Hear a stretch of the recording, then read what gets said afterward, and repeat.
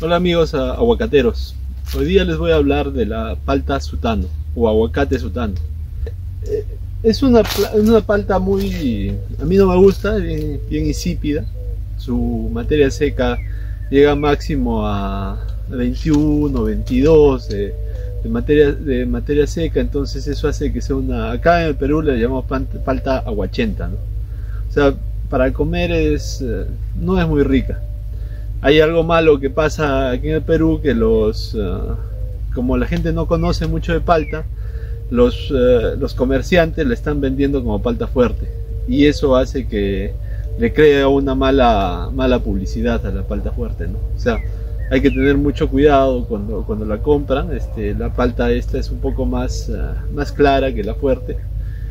Y bueno es un poco difícil para alguien que no conoce diferenciarla no pero bueno, un poco ese, este video va enfocado a eso, a difundir un poco este engaño que está, que está ocurriendo.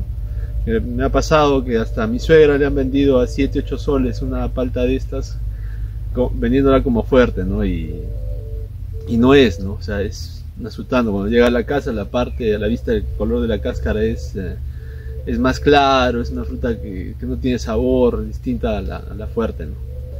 Bueno, aprovecho de contarle un poco las características de esta palta. Esta es un árbol muy vigoroso, es erecto. Acá en el Perú, como les digo, nos sirve para patrón porque resiste mucho a fitóptora. Resiste a fitóptora y tiene un, ligero, una ligera resistencia a sales, ¿no? Entonces son dos características que, que la hacen este, muy, muy buena para ser un patrón, ¿no? Generalmente se injerta Haas en él eh, y, las producciones son buenas. Ahora me están diciendo que los antillanos están produciendo mejor. Eh, vamos a hacer pruebas para, para, ver si eso es cierto. Pero nada, durante muchos años este, el patrón que, que se ha sembrado en, en, el Perú este, ha sido sutano. ¿no?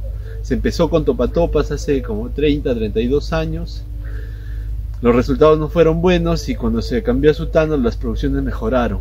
Como les digo ahora, lo, nuevo que se viene en patrones, eh, según dicen, son los antillanos, pero bueno, eso yo todavía no les puedo dar fe, ¿no? O sea, pero sí varios amigos ya me están hablando de, del patrón antillano. De, los patrones antillanos, porque son varias, varias razas. ¿Qué les digo de esta palta? Es una palta piriforme. Se dan cuenta, este, su cáscara es verde claro, esta está madura, verde clara, una palta grande de más o menos esto debe pesar unos 450 gramos, tal vez más. El promedio de la de una fruta de sultano está entre 400 a 600 gramos, una palta bien grande. Ahora tiene una pepa bien grande también, ¿no? O sea, es de 65, más o menos el, el 35% al 40% de la, de la fruta es pepa. Entonces eso también tiene otra, otra mala característica. ¿no?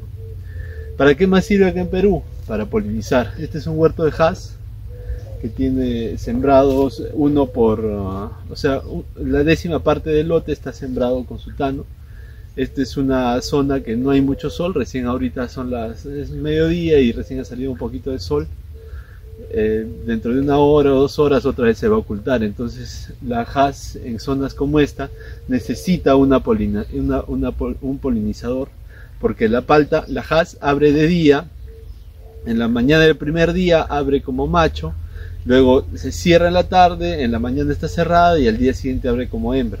Al revés de la sutano, la sutano en el momento que está que está la jasa abierta como, como macho, ella abre como hembra, ¿no? Entonces eso hace que haya una, buena polinización y se coloca abejas es mucho mejor. Entonces, para que ese traslape se necesita polinizadores. Este es la sultano, es una, una palta, un aguacate tipo A, no tipo B, y la jasa es un aguacate tipo A, de flor tipo A. Entonces eso hace que haya polinización. Otro de tipo B es la fuerte, este, la bacon, esos son eh, paltas con las que uno puede polinizar la Haas o la Ardit o la Naval. Para sembrar un campo de, palta uno tiene que saber qué tipo de flor tiene para, ver ese tema de la polinización. Eh, como le digo, es un árbol erecto, es un árbol bien grande, vigoroso, este, florea un mes antes que la Haas. Eso hace que para que llegue a coincidir, a veces hay algunos productores que la podan fuerte un mes o dos meses antes, generalmente en mayo, para que ah, coincida un poco la floración, ¿no? Es, eh, es un poco eso, pero sí es lo primero que florece la, la Haas, la Azutano, y a los 20, 30 días estaba empezando a florear la Haas. a lo primero que le entra cladosporium, botritis, todo es al azutano, ¿no? Entonces eso también es para tenerlo en cuenta. Eh, y nada, como patrón, como les digo, sí, a mí me gusta como patrón. Eh, les enseño un poco... Ah, es una, es, una, es una variedad antigua. Es eh, originaria de, de California en 1926 es cuando la, empezaron a, distribuir. Em, y, nada, pues es, un cruce entre, es de raza mexicana con guatemalteca. Eso es lo que le da un poco las características, ¿no? Eh, bueno, les enseño un poco la, la fruta. Productivo, eso sí, todos los años produce. Si se dan cuenta, fruta grande, forma piriforme.